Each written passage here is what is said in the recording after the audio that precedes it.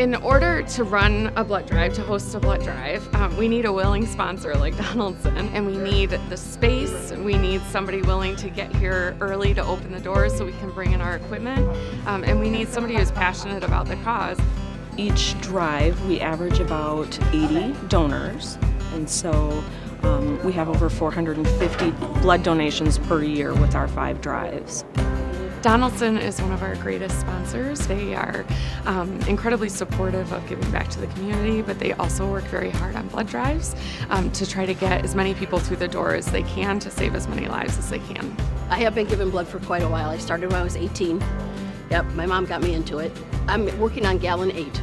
My manager came and asked me if I wanted to donate blood today, so I said yes. And I came in here, um, it was my first time ever donating blood, so I thought I'd give it a shot.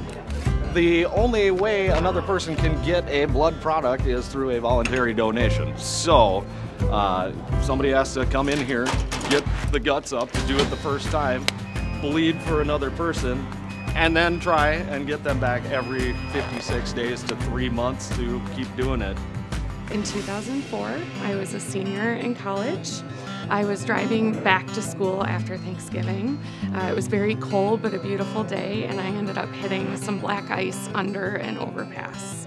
My car uh, rolled after I overcorrected, rolled eight times, and uh, I had a ton of injuries, but the worst was a torn artery in my leg. Uh, I've had 32 surgeries in 13 and a half years and have received about 60 units of blood uh, initially and then through the recovery and complications. My oldest son, Tate, who's 13 now, was diagnosed with blood cancer just a month shy of his second birthday. Tate went through two years of chemotherapy and required two blood transfusions in the process. And now Tate's an active teenager, active in his middle school on the honor roll, and playing multiple sports. So I'm just grateful to blood donors who, you know, gave blood that offered Tate the chance to fight his cancer journey. Prior to Tate's diagnosis, I wasn't a regular blood donor at all. Actually, I was completely afraid and scared to donate. Um, but after seeing Tate and the hours it takes for him to receive a blood transfusion, I vowed to myself I would become a regular blood donor and encourage those around me to do the same.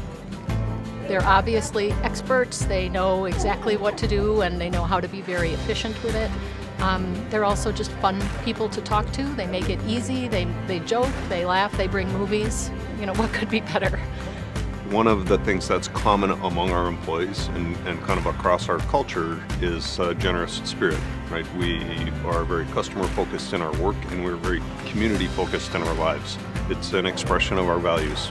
If you are able, you know, consider giving either your blood or time to a Donaldson blood drive or community drive because you really are able to make an impact.